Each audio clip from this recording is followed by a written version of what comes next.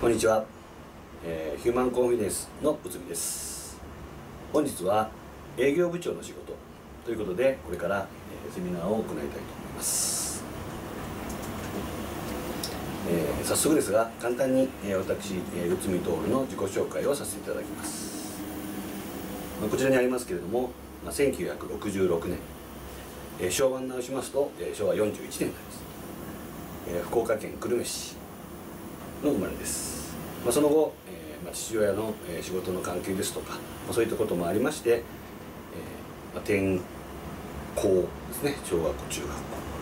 で、えー最終的には、えー北海道の北海学園大学を卒業しました、まあ、その後、えー比較的営業というか対人関係に自信がありましたので、えコピー機の飛び込み営業会社に就職しました、まあ、実は今回のこの営業部長えーマネジメント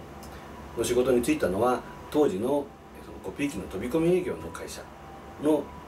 実体験が背景になっています。と言いますのもコピー機の飛び込み営業。自分で言うのもなんですが、営業の成績は初年度から比較的いい数字でした。いい成績でした、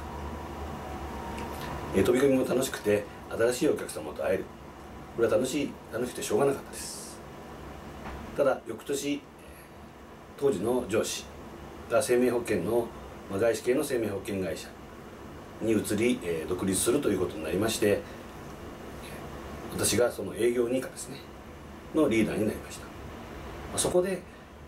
えー自分がこんだけ頑張って売り上げを上げてるのに部下が動いてくれない。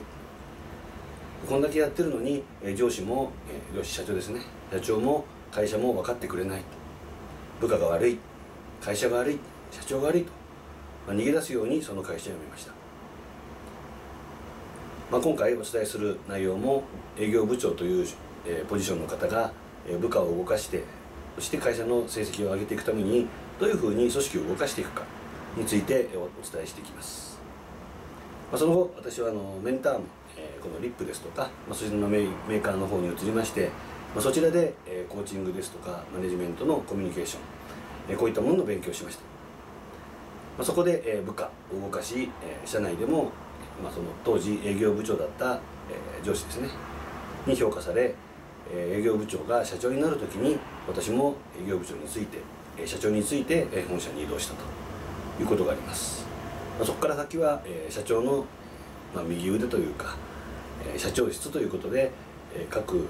他の取締役との,、まあ、れあの連絡ですとかあと組織を動かしていくこと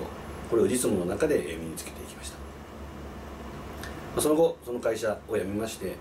えー独立しました。で独立して最初にやったことが、えー事業再生のコンサルティングの現場に入ることでした。私自身サラリーマンしか経験がありませんでしたのでコンサルティングどういうふうにやればできるか全くズブの素人でした。まあ、そうした中、えーこちらにあります、えー事業再生プロフェッショナルの清水さんですとか、まあ、その、えー外資系のコンサルティング会社で、えーまあ、成果を上げていた方々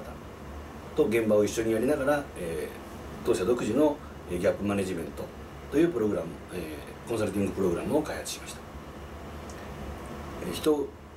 えー人を動かす時に一番効果的なのはものを見える化することだ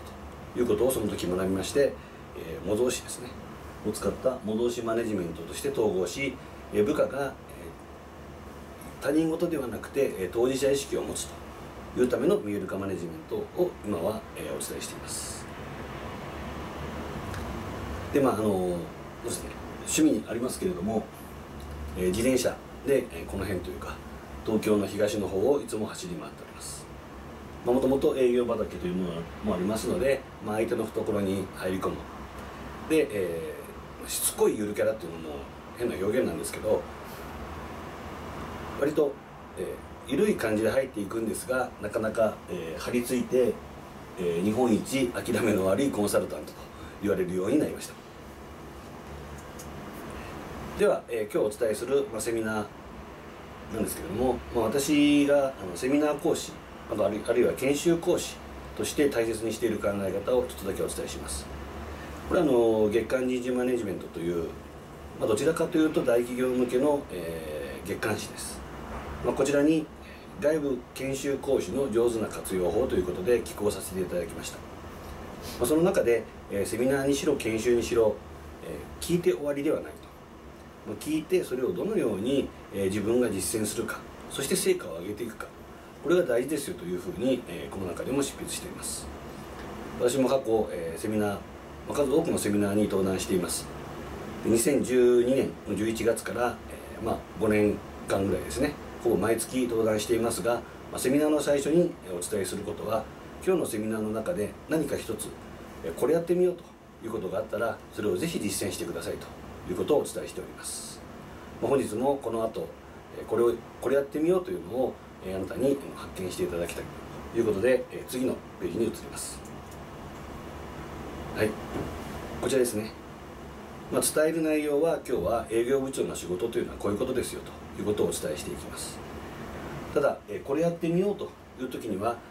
あなた自身がどういうことに悩んでいるのかもう一度振り返っていただく。そしてこれが得られたらその悩みが解消できるということをもう一度明確にしていただくこと。まこれによりまして、ま、先ほどあの、え、セミナーを受けた後にどのように実践につないで結果につなげるかというところにつながってきます。ですのでこちらお手元の資料の方にご記入いただきたいというふうに思います。それではどうぞ。はいいかがでしたか？まあ、営業チーム部下のことで悩んでいるでこういうことを、え今日は得たいというところをもう一度明確にしていただいた上で本日のセミナーを、え受講していただければ、え結果というか行動につながつながりやすくなりますし、まあ、行動すれば、え結果が出てきます。ですのでぜひもう一度明確にしていただきたいと思います。はい。それではここで残念なお知らせが一つあります。今の悩みが解消できても経営者の悩みというのは一生尽きないものですよというお話です。まあ時間軸ですね。これは、えー、規模、まあ、組織、えー、企業というのは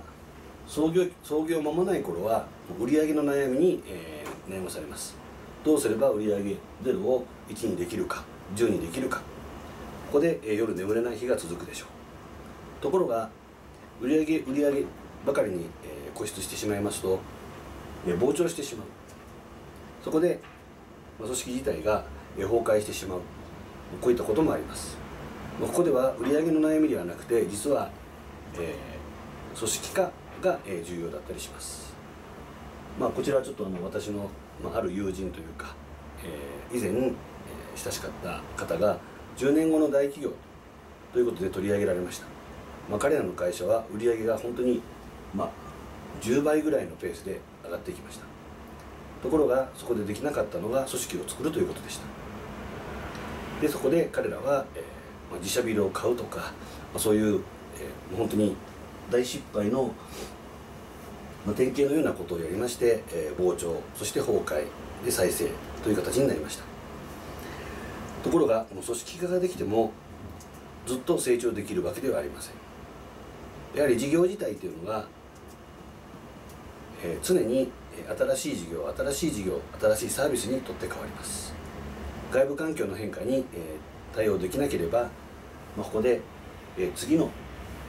変革ができなければこちらで、えー、崩壊してしまう。例えばあの皆さんのご存知な、えー、今このカメラって言ってこういう形じゃなくてみんなこここれがカメラになってますよね。っていうのが昔はこういうカメラで中にフィルムが入ってました。そのフィルムをつく使っていた、えー、作っていた、えー、メーカー、まあ、世界ではあのコダックという会社がありました。日本でもよく知られているところでは富士フィルムという会社がありました。でコダックはこちらで、えー、変えることができずに、えー、潰れてしまいました。一方その富士フィルムは自分たちのやっている中で、まあ、化学、えー、原料ですね。というそういったものを使っているということもありましたので、えーまあ、化学、えー、原料あと化粧品医薬品そちらの方に、えー、自分たちの事業を、えー、変革していきました、まあ、ここでも、えー、世の中が悪いではなくてじゃあどうしたら、自分たちが対応できるかということで、自己変革が必要になってきます。そして、まあ、これ企業経営されていると皆さんそうでしょうけど、まあ、この資金ですね。売上が上がれば、仕入れも増える、人も増える。それだけのコストがかかってくる。そのお金をどうやって、資金繰りをするのか。これについては、悩みは尽きないかなと思われます。